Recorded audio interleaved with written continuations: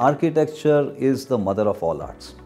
It uh, enables not only its building types but all aspects, any youngster, any professional to do so much within the profession.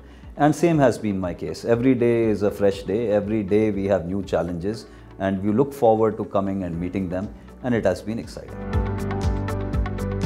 I got intrigued with building design very young in age. Uh, the books that I read, uh, the environment around me kind of made me crystallize this thought.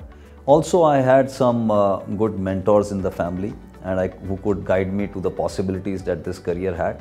But mostly passion. Passion for the building uh, environment is one very important aspect. Subsequently, as I grew older, I enrolled in a design school. I first went to the Chandigarh College of Architecture, then worked and then went on to MIT in the US and then had a working stint at uh, RSP Singapore and subsequently I am here. And I feel blessed that today we can make or are in a position to make uh, a difference in the environment, bring sustainability parameters and be actively involved uh, in the biggest concern on the planet, uh, which is to be able to do sustainability uh, designs, be able to ensure that our climate considerations are not totally askew as far as our future generations are concerned.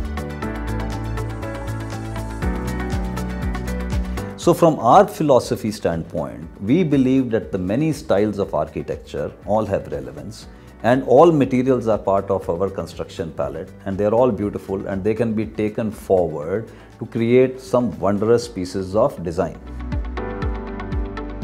Forbes The Bold List is a very important honor for us. I have the privilege to be represent my company and be able to get featured on that list uh, means a lot to us. I must congratulate Forbes to thinking about this initiative because it enables entire fraternity to be uh, showcased in a forum uh, that gains has a wide audience. It uh, kind of motivates all the youngsters to come up to it and it uh, motivates us from a peer perspective because we get to know uh, that we are part of a select few uh, and therefore a great honor.